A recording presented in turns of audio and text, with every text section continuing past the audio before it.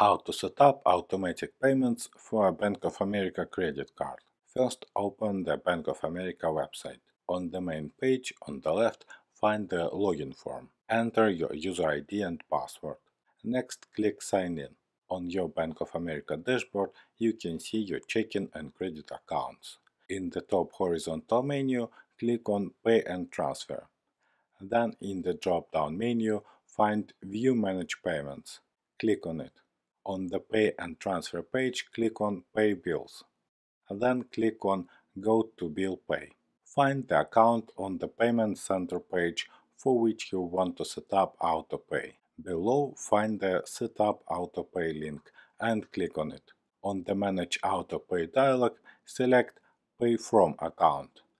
Next, select Deliver By as the earliest delivery date. Next, select the amount you want to pay. I always pay statement balance to avoid paying interest. Finally, click on Start sending payments. Then you can see confirmation that automatic payment was set up. Click Close.